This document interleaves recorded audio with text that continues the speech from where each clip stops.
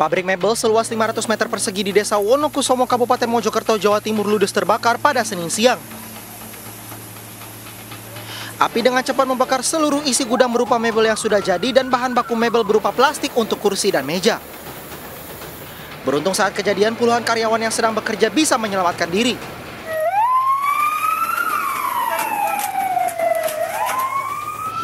Api padam setelah dua jam petugas damkar tiba di lokasi dan berusaha memadamkannya. Diketahui kebakaran terjadi saat seorang karyawan mengelas salah satu bahan mebel dan percikan apinya menyambar tembok berbalut spons. buat pemantauan jam itu pegang suara karena dia kurang pendengarannya nggak tahu gimana api beda besar sama teman-teman bisa dipadamkan kok malah yang besar apinya Di dalam ada karyawan tadi. banyak Akibat kebakaran ini, bahan dan mebel siap kirim ke Jepang ludes dilalap api. Dari Kabupaten Mojokerto, Jawa Timur, Solahuddin iNews melaporkan.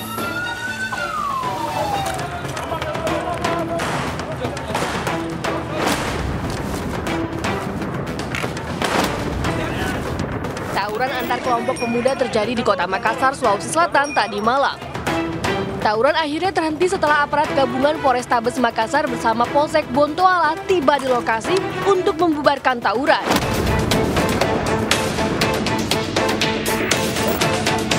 Sempat terjadi perlawanan terhadap petugas, membuat aparat kepolisian menembakkan gas air mata dan tembakan peringatan ke udara.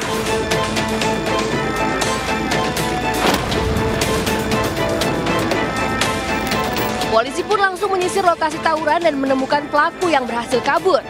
Meski demikian, sejumlah barang bukti seperti anak panah berhasil diamankan petugas. setelah sampai di lokasi eh, kedua kubu sempat dibubarkan dengan menggunakan eh, gas air mata. Kemudian eh, dari kedua belah eh, polsek baik Bontoala maupun Talo melakukan eh, pemantauan atau melakukan eh, himbauan ke masyarakat agar tetap menciptakan kondisi masyarakat aman. Hingga kini polisi masih melakukan penjagaan untuk mengantisipasi tawuran tidak kembali terjadi. Dari Makassar, Sulawesi Selatan, Leo Muhammad Nur, iNews melaporkan.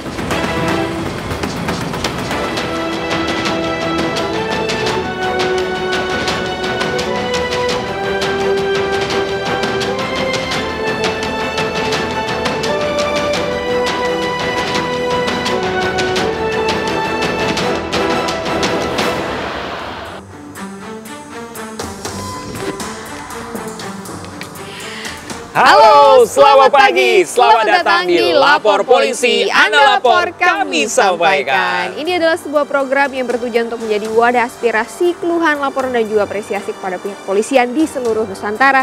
Pagi ini hadir bersama saya Anita Mai. Dan saya Pram Senjaya Pemirsa selama satu jam ke depan kami juga membahas sejumlah topik hukum dan kriminal yang menjadi topik hangat pembicaraan masyarakat di sekitar kita dan juga di media sosial. Kami juga membuka laporan pengaduan masyarakat yang bisa diakses kapan pun oleh Anda untuk kami melalui sejumlah channel kami, yaitu di Instagram resmi kami laporpolisi underscore iNews dan juga at official iNews TV. Nah, pemirsa Anda juga bisa melapor nih ke kami pemirsa dengan menghubungi alamat email kami pemirsa di laporpolisi.ais@gmail.com dan jangan lupa selalu menggunakan hashtag Lapor polisi. Nah, pemirsa seperti biasa kita awali informasi dari Medan, pemirsa Sumatera Utara.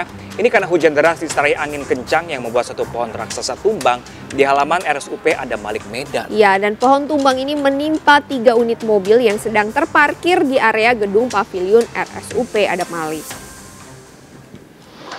Video amatir ini memperlihatkan satu unit mobil tertimpa pohon tumbang di RSUP Adam Malik, Medan. Dan peristiwa tersebut terjadi saat hujan deras disertai angin kencang yang menumbangkan satu pohon tua yang menimpa tiga unit mobil.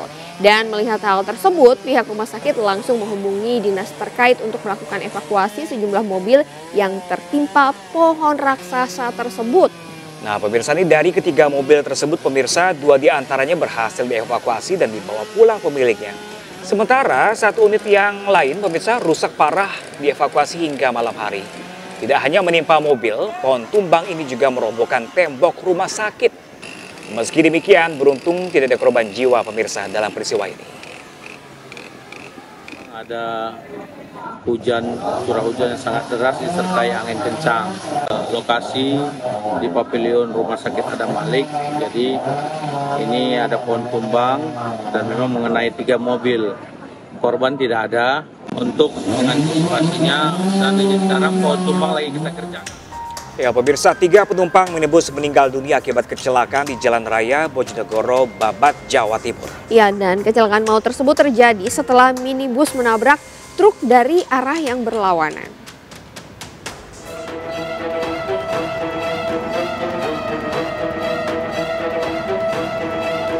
Video amatir warga ini merekam detik-detik pasca terjadinya kecelakaan di Jalan Raya Bojonegoro Babat, Jawa Timur. Minibus yang diketahui membawa 9 penumpang ringsek parah usai menghantam truk dari arah berlawanan. Pengemudi minibus meninggal di lokasi kejadian dan dua penumpang lainnya tak tertolong meski sempat mendapat perawatan di rumah sakit. Sementara enam penumpang lainnya selamat namun mengalami luka. Kecelakaan diduga disebabkan pengemudi minibus mengantuk sehingga kendaraannya oleng ke kanan dan menabrak truk yang datang dari arah berlawanan. Kasus kecelakaan ini kini ditangani Polres Bojonegoro.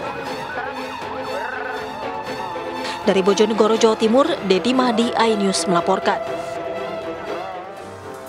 Akibat pecah ban, tabrakan beruntun melibatkan enam kendaraan ini terjadi di Magetan, Jawa Timur. Meski tidak ada korban jiwa, namun ada dua orang luka-luka dan juga kerugian mencapai belasan juta rupiah. Tabrakan terjadi di Kelurahan Takeran, Magelan, Magetan, Jawa Timur.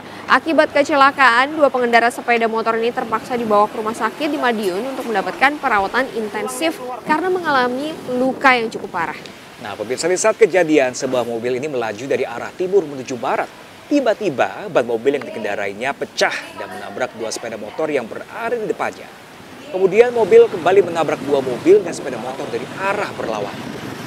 Polisi pun masih memastikan penyebab pasti kecelakaan beruntun tersebut. Tadi Pak, Itu saya dari barat, terus motor ini Latina dari timur. Dari timur nabrai sepeda motor, terus akhirnya belok ke kanan, ngantem mobil saya.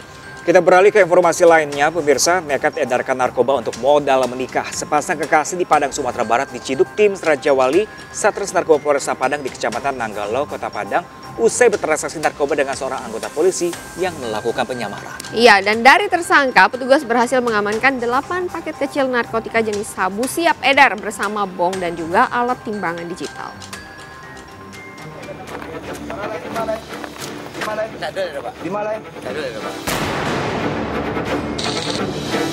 Tersangka bandar narkoba berinisial H terdapat berkutik setelah diciduk oleh petugas kepolisian berpakaian preman dari Satres Narkoba Polresta Padang di daerah Kurau Pagang, Kecamatan Nanggalo, Kota Padang, usai melakukan transaksi narkoba dengan seorang anggota polisi yang menyamar sebagai pembeli. Tersangka H merupakan bandar narkoba yang selama ini menjadi target operasi polisi dalam kasus peredaran narkotika di wilayah hukum Kota Padang. Selanjutnya petugas melakukan pengembangan ke rumah pelaku guna mencari barang bukti lainnya. Di lokasi petugas turut mendapati kekasih H berinisial R yang juga tengah menggunakan narkotika jenis sabu.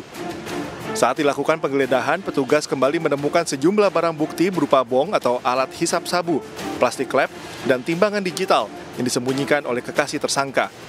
Dalam pengakuannya, sejoli ini nekat mengedarkan narkotika jenis sabu lantaran bisa mendapat untung besar untuk modal menikah. Bersama barang bukti, kedua tersangka digelandang ke Mapolresta Padang untuk menjalani proses hukum lebih lanjut.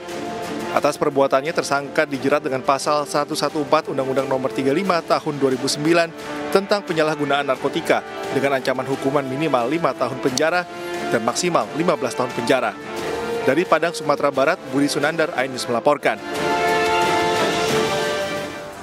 Seorang pria yang diduga menderita gangguan kejiwaan menganiaya nenek kandungnya hingga meninggal dunia. Nah ini dianggap meresahkan Iya. pemirsa, warga melaporkan dan pelaku penganiayaan dijemput Pemkot Palembang untuk dievakuasi.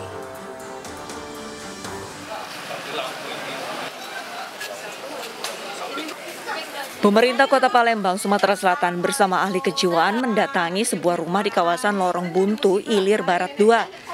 Mereka datang ditemani dengan petugas lainnya karena ingin menjemput warganya yang dianggap meresahkan permukiman.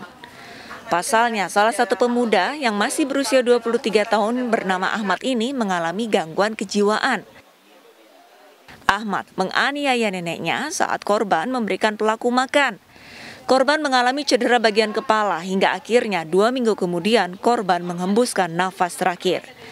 Pihak keluarga pun terpaksa mengurung pelaku setelah kejadian ini. Itu selama ini kan tenang, dia selama ini kan ya dari lima tahun ke depan inilah dia sering ngamuk-ngamuk tuh iyo tahu kami nggak ngerti juga dia kan nggak bisa ngomong. Iya tahunya nangis rontok. Tidak kegiatan kecil cak biasa uh -uh, cak anak-anak biasa kami bawa jalan-jalan sering kan sore-sore. Jadi kesehariannya di dalam kamar itu tidak baru sejak dia ada ada korban ini kami kurung tuh. Siangnya segera kita evakuasi kita bekerja sama dengan dinas uh, kesehatan dengan puskesmas dan juga dinas sosial kecamatan kelurahan untuk kita bawa ke rumah sakit Erdi Bahar nanti dia akan dirawat di sana karena memang pasien ini sudah sangat meresahkan dan juga mengganggu keselamatan warga maka tidak tidak bisa lagi kita uh, bawa atau kita rawat di rumah harus di rumah sakit yang memang khusus untuk masalah kejiwaan. Gangguan kejiwaan Ahmad makin tidak bisa diprediksi sejak lima tahun terakhir. Pihak keluarga berharap setelah dirawat di rumah sakit Ernal di Bahar, anaknya dapat sembuh dan kembali beraktivitas seperti semula. Dari Palembang, Sumatera Selatan, Erwin Setiawan, Ainis melaporkan. Petugas masih menyelidiki pelaku pembunuhan terhadap pasangan suami istri di Palangkaraya, Kalimantan Tengah yang jasadnya ditemukan dengan kondisi penuh luka tebasan senjata tajam. Dan informasi selengkapnya kami hadirkan sesaat lagi untuk Anda pemirsa. Tetaplah bersama kami di Lapor Polisi. Anda, lapor, kami sampaikan.